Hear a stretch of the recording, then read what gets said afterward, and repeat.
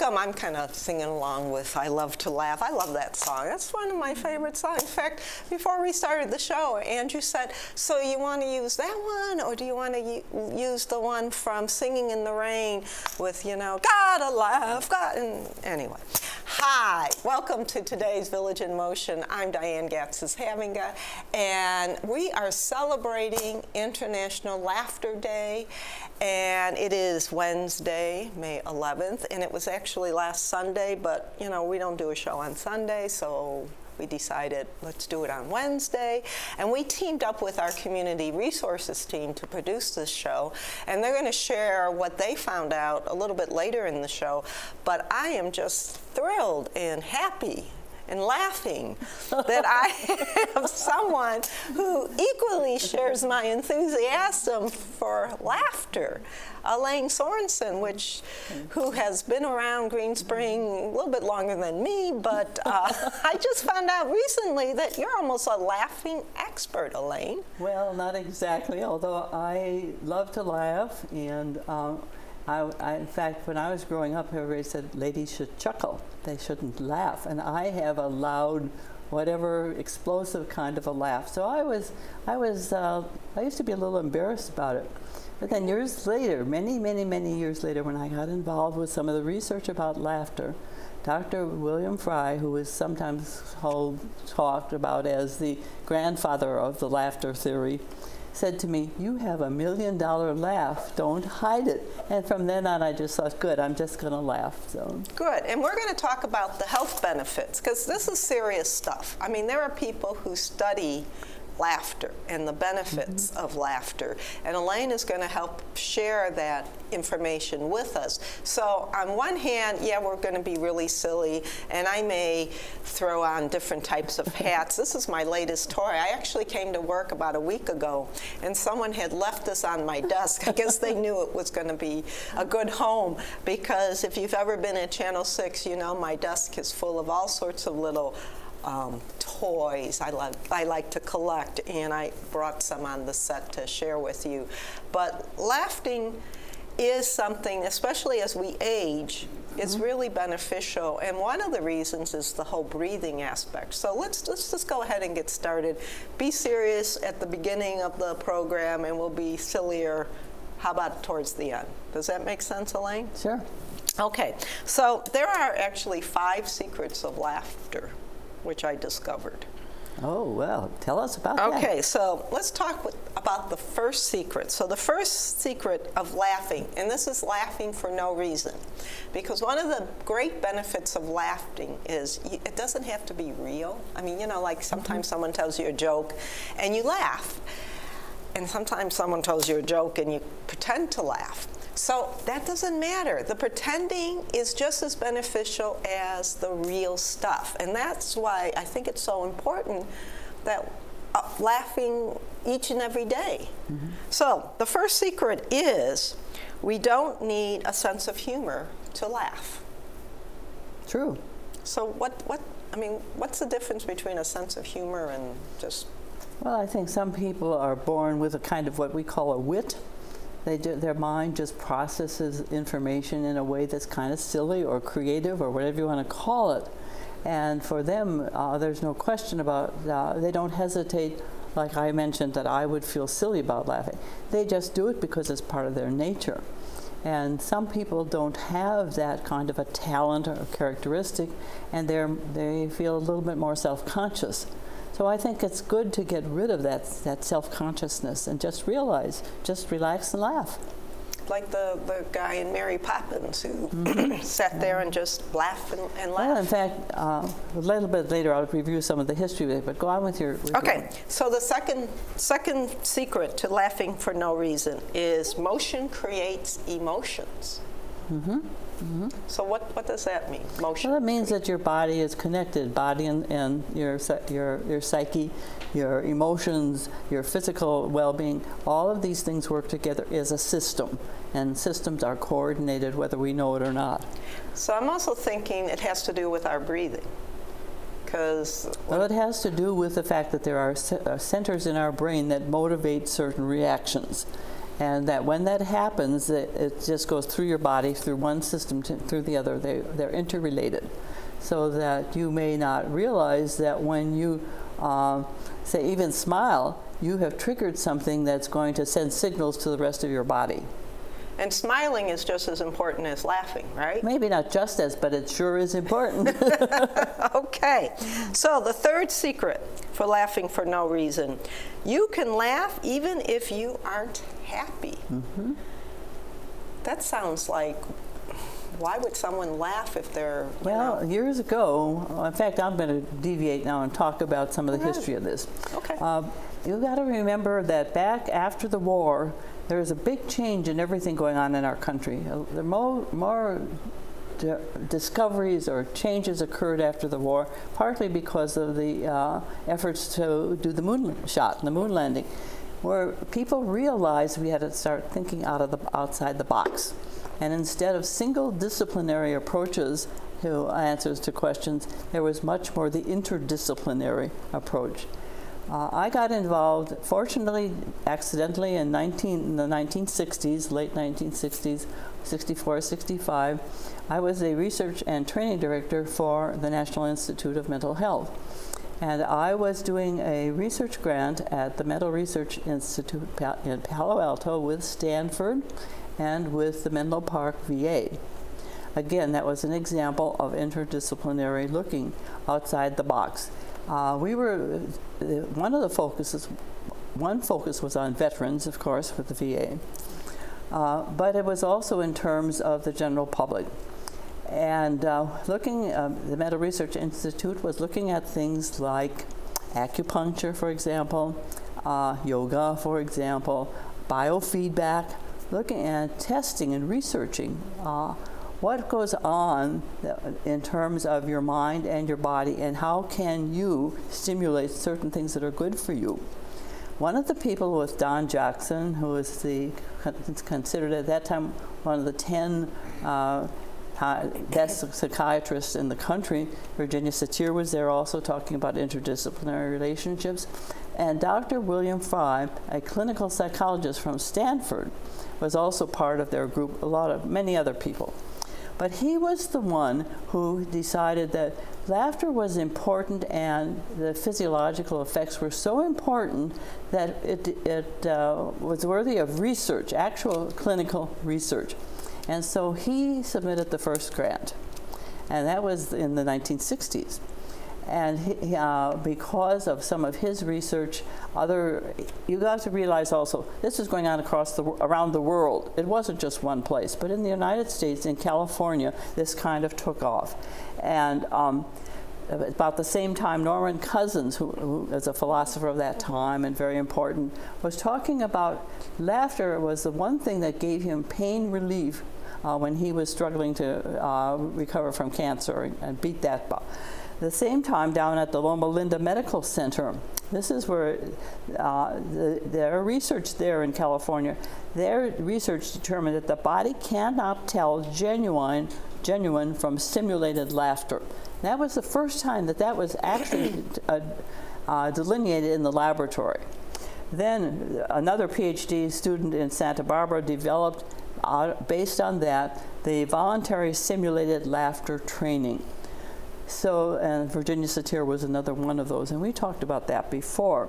Then you can go on into the 70s, and there was Dr. Uh, Patch Adams, who, uh, by the way, came from the Washington area, D.C. area, and uh, he had this whole idea of uh, people would recover better in the hospital. He was a, a bon, uh, an absolute uh, medical doctor. Sometimes people think, no, he was just a clown, but he had a clown training and he believed that that, that would, would uh, that humor would uh, help people recover. And it proved to be true. And he also was the person who uh, got people started with, with um, the Big Apple Circus. The clowns from the Big Apple Circus would come to the hospitals and help, especially with children. And just to show you what kind of a sense of humor he had, he called his clinic the Gesundheit Clinic.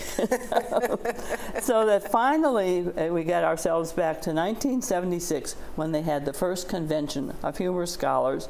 And at that convention, they decided that they would call themselves the gelat-.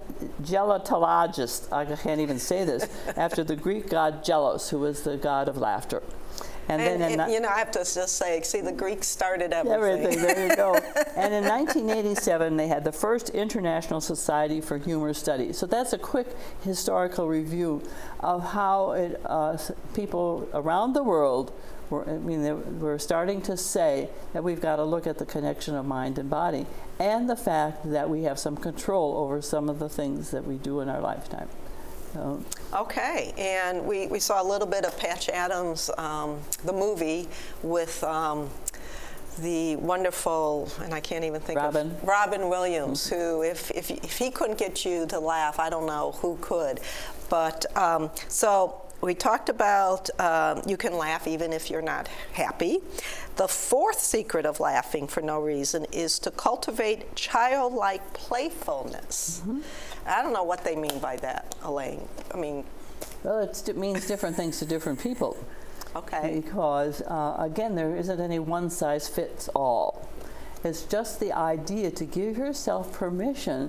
Uh, we all have that child inside of us, never leaves. It just gets more disciplined, as you will, as we age and place. Like people telling you you shouldn't be laughing yes, because exactly. ladies aren't supposed to right. laugh out loud, mm-hmm. or sometimes you're in a public place and there's some guy or gal laughing and laughing, and people go, okay. Well, and sometimes, and sometimes uh, it can be inappropriate too. Uh, it is important to realize that uh, extremes are never very good in any direction, being too quiet or too loud. And so, but you soon get to be comfortable with what fits for you, that fits for the environment in which you find yourself. And sometimes we get to be too, uh, too structured. And uh, it's okay to give your, the child in you permission to come out and play. you know. Okay, so be before we talk a little bit more about that, about how we can play, the fifth secret of laughing for no reason is you can train your body and mind to laugh, which kind of gets back into mm -hmm. what mm-hmm. we've already been talking mm -hmm. about. And I think the best example, if you can't you know, just start laughing. um, you could, in the privacy of your own home. Absolutely. You could just sit and get naked, as I want to say, mm -hmm. and look at yourself in the mirror and I'm thinking most of us would just start laughing because our bodies are or probably. we may start crying. We may be doing be so both. Good. okay, so maybe you shouldn't get totally naked. But, um, but the experts do say get a mirror, stand in front of the mirror, and just start laughing. Well, and if you don't, if that is not the first step for you, and it might not be for a lot of people, one of the things you can do is buy a humor book just sit and there are even the Reader's Digest every year, every month has their, their jokes to laugh at. There are jokes on the internet. You can read these and, and uh, you know just laugh and chuckle to yourself. And sometimes you tell them to your friends at the dining room table, like Bob Z does. So, but uh, you know you can start with simple little things like that. And remember what I said the other day. Um, you can Virginia Satir used to train people to say, if you don't feel like laughing, that's okay. Do it, it the feeling will come later. and she used to say, now, you know, if nothing else, just go like this, you know, and while you just watch this group do like this and you start laughing. But it, it is, uh, it, for some people it's not spontaneous, but that even doing it in an unspontaneous way is, believe it or not, triggers some of the positive things because the research indicated your, mind, your body and mind do not know the difference if you're going through the motions. So we're going to take a pause in our discussion.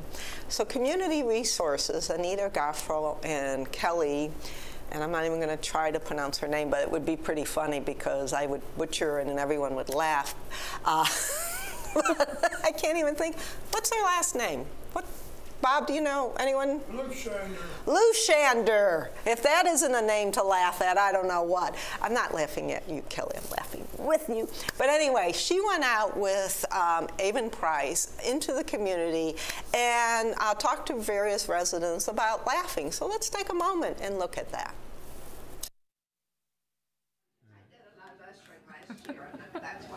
Oh my gosh. Pardon my laugh, but I can't help it. Sometimes just walking around Greenspring, you'll catch something that makes you laugh or somebody will be smiling.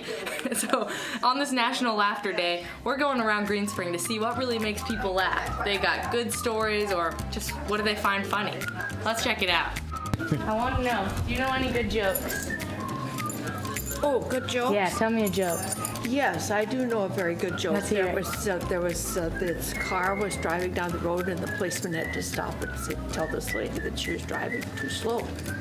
And he said, "You're only going 25, 22 miles an hour." And she said, "Well, that's what the sign says right up there." And he said, "No, that's Highway 22." Oh, and he said, "What's the matter with these ladies in the back seat? They don't look well at all." So "Well, we just got off Highway 95."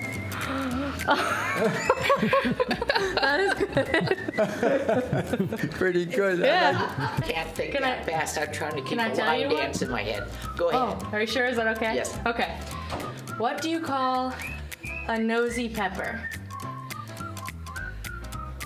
A nosy pepper. No, this is just a regular one-line joke. Okay. What's the difference between snowmen and snow ladies? Snowballs. That's funny. Pepper. Jalapeno business. Precious. I'm Good. gonna remember that one. So you ask me next time. okay. See you, Linda. Okay, this is for everybody that um, wants to just chuckle today. Okay, how how will you know who is your best friend? Is it your dog, or is it your best friend, like like Kelly here?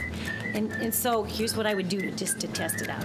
I would put them both in the trunk and drive around for a couple of hours, and then open the trunk and see who's happy to see me. would it be the dog or would it be Kelly? Not gonna be me. That's how you know who your best friend is. That's a a good good one. Happy one. Laughter Day. That's good.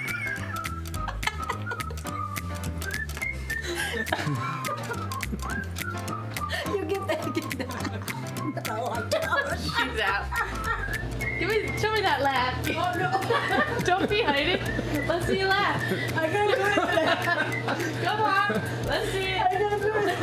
You got the best laugh in town. Hey Bob, What? do you know any good jokes? Do I know a good joke? Yeah. Yeah. Let's hear one.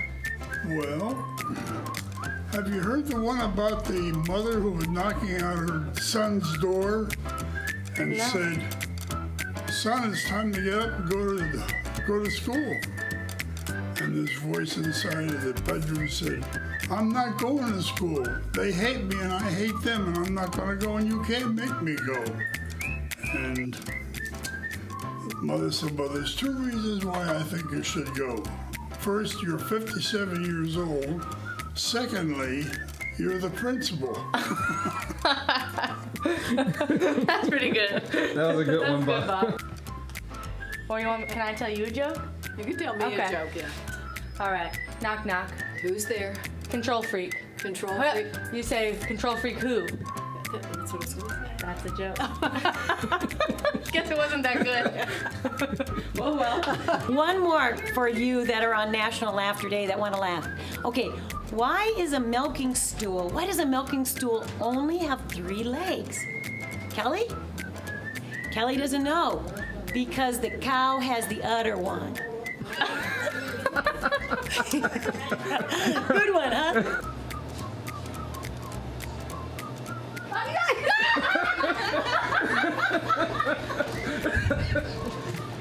Franklin, can you tell us a joke? I sure can. You ready? Yes. All right. Why can't a back bike stand on its own? Why? Because it's too tired. Oh, okay. Tell me, do you know any jokes? Do you like to laugh? Oh, I, know got, I like got, a, I got a long one. Let's hear it. Okay, look. This guy had lost his job, so about two or three weeks, he was looking in the papers, looking in the papers for his job, and he seen this one ad at the zoo. So he said, uh, my car no due, you know, my bills are due. Let me go see what's going on. So he went in there and they said, hey, uh, our gorilla is sick. We need somebody to put a gorilla suit on, jump up and around in a cage until they get well. He said, man, I don't know. He said, look, we're paying $15 an hour. He said, okay, okay. So he put the suit on. Next day, jumped up and down in his you know, cage. And week or two, three weeks went past. The guy said, man, the crowd is coming. And you get, you know, it's a great crowd. I don't know what you're doing, but keep doing it. So he did it for another two weeks. And the boss said, look, the crowd, so many people's coming in to see you, we're gonna give you a raise. He said, go ahead. He said, yeah, we're gonna give you a $20 raise. He said, $20? He said, that's great. So he was so excited the next day, he went and put the suit on, he jumping up around, jumping around, and he seen this rope hanging from the ceiling. So he grabbed the rope and was swinging and swinging. Everybody started clapping, yeah, yeah, swinging. And he went back one time and hit the wall and swing and boom, bust the wall into the lion's cage. The lion jumped up, ah, ah. He started screaming, help, get me out of here, help, get me out of here. The lion walked up to him, shut up, fool, before you get both of us fired.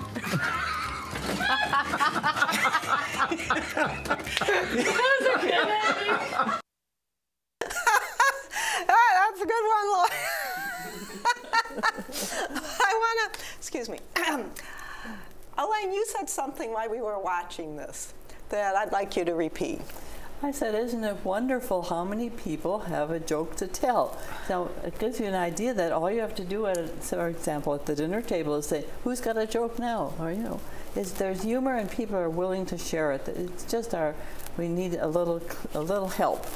And I know there's a lot of stages of laughter, and we won't go into the whole thing, but you know, the, the bottom of the list is the, the so-called physical laughter, which we've all seen. You know, the guy walking down the street slips on the banana, he falls. We're not supposed to really laugh, but we're all sitting there going, ah, that's pretty funny. You're what an idiot, you know. And then we might go and say, oh, can I help you? Are you okay? And then there's more as it goes up. It's the whole um, you know, satire and, and I think maybe using that wit that you were talking Mm-hmm. about and, and developing more of Well, that not- concept. I wouldn't say it goes up. I would say it goes sideways. Oh, okay. It's a range, and one isn't any better than the other. It's not. It's just they're different, and one one is is, is more appropriate in different circumstances. But I think the idea that um, you were saying the other day that.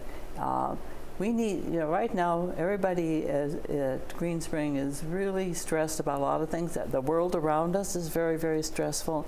There are a lot of changes, which as we age, we find difficult to handle. Uh, I think it's the perfect time for us to give ourselves permission to just relax a little and share a laugh with each other and, and minimize the stresses to our, in our body. And we, we really, not only in terms of, we talked about the physical benefits and, and, and the mm-hmm. emotional mm-hmm. benefits. I mean, it's, it's, it really is true. I think if you wake up and, you know, the last 15 days, my God, it's, you go out, you know, you look outside and you go, Right. oh, this, this is, you know, I don't want to. And it's allergy time and, besides. and allergy, and we're all just sitting there going, "Oh my God, it's so gloomy and gross," and you know, I'll just go back to sleep. But if we pretty much raise ourselves up and really start to smile, I, I think you do get that that lift of, "Oh, I'm smiling, something's going on." And then if we add the laughter, it gives you also that whole physical mm-hmm. benefit because it allows us to breathe not only more air in, but more importantly, to breathe out the yuck of the you know of the body. And that was one of the things they incorporated when they would do Tai Chi laughter or yoga laughter. It's the whole combination that one enhances the other. Um, So we're, we're, we're narrowing our discussion down, and before I know. Elaine has a joke, so stay tuned for that. but before we get into that, anything? Well, you have you're starting a new. Is it a new club, a new group, well, or yes, what are you going it's a, a movement, if you A will. movement. All right, I like movement. but we're calling it uh, the 2H Club. And the H can be for happiness and health, or the H can be for high fives or hugs. And so, what we're trying to do now, we're in the process of designing some little buttons that we can wear. And we're going to give them out to staff and residents. And this club has no dues and no meetings, but the days that you feel like you need a little laugh or a little lift, you wear your pin. And if you want a high five or, or a bump, you wear the, the blue pin. If you are open to having a hug, you wear the red pin. And so it's just funny. It's not serious, but it's it also can have health benefits, emotional benefits for us. So. And, and why the touch? I mean, it's Well, we, as we age in place, that's all part of the keeping the body alert and stimulated and so on. And touch is so important. And as we age, we are our circles of people are smaller and smaller. And some people don't have any any touch with anybody else uh, throughout the day.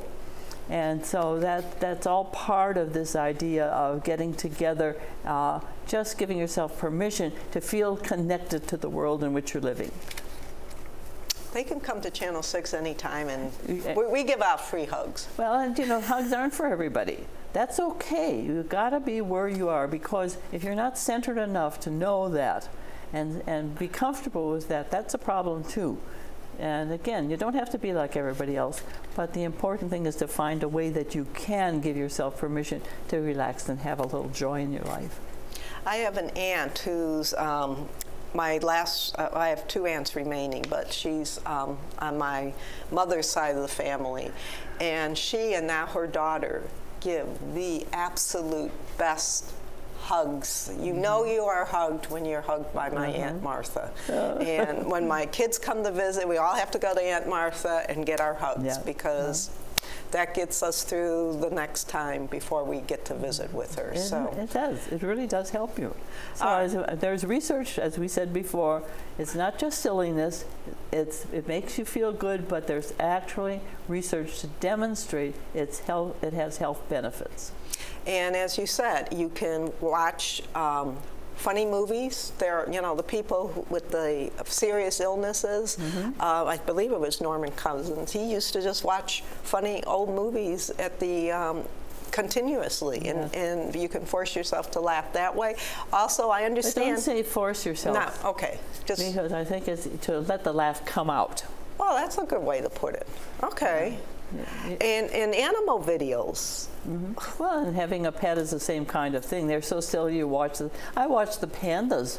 If you ever do on on, on my the, computer. the, the panda camera Oh, they do the funniest things, rolling down the hill, and you know, I mean, there are just all kinds of things like that that you can do that help you to relax and just enjoy. Yeah, just the other day they announced there were uh, leopard tripper, triplets. And I, w- Paulette and I were watching it on, on um, YouTube. And I was like, I want one of those. And she's like, Yeah, what are you going to do when they get bigger? I said, I don't care. I want one of those. And um, so, but I won't get one of those. I'm going to have you save your joke. First, I'm going to go to the announcements.